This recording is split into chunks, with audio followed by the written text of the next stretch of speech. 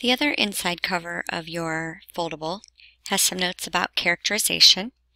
And these are all terms that should be reviewed for you, so I'm not going to spend too much time on them. Um, the protagonist in a story is your main character. And the one thing I really want to stress to you this year, and that I will keep revisiting, is that your protagonist does not have to be the good guy.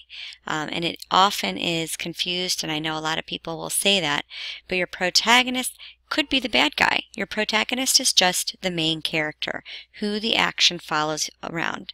Um, I read a book once about a bully. The bully was the main character. It told his perspective as he picked on this kid. And of course, by the end of the story, we saw a big change in that protagonist, but he was the bad guy at the beginning of the story. He wasn't nice. You didn't like him. Um, but that's who the action followed around. The antagonist is the person or the thing that causes problems for your main character. It can be the bad guy, but it isn't always. Now, some terms that we use to describe our protagonist and antagonist are flat, where we have a character has very few character traits. Um, if I was going to ask you to describe them, you could only come up with one or two words to describe him versus round, in which they have many character traits, lots of adjectives to describe them.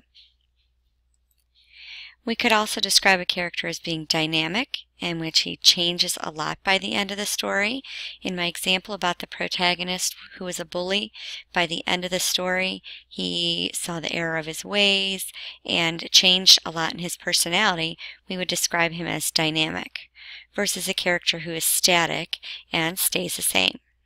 So the next video um, you have shows a couple of uh, differences between them, um, and I think it focuses on flat and round. So I just tried to find some fun videos for you to watch uh, just to give you an idea of reviewing some of these terms.